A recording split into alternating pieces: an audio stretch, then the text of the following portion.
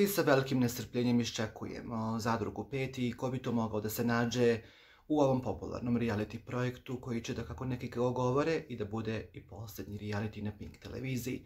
Direktor Željko Mitrović nedavno istakao kako će ovaj TV projekat možda biti ujedno i posljednji.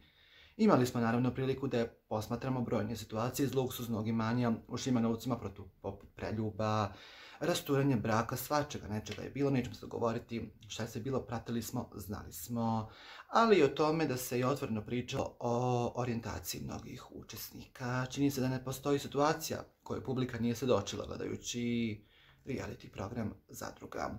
Ali, novina ove sezone će da bude jedan par, e, kako neki govore, popularni pjevač koji do sada krio svoj intiman život ulazi sa emotivnim partnerom u reality formatu. U petu sezonu ulazi pjevač kojeg žena obožavaju, njegov emotivni partner koji je također poznat javnosti, ali znatno manje u pregovorima je sa produkcijom, a smatra se da će ovaj potez biti revolucionaran, jer će on biti prvi muškarac za domaće javne scene koji će otvorno priznati da je gej. Mnoga ženska srca će biti slomljena, očekuju se mješovite reakcije publike kao i za sve. Ma bit će ovo sezona za pamćenje i ističe dobro obavješten izvor za portal Srbije danas.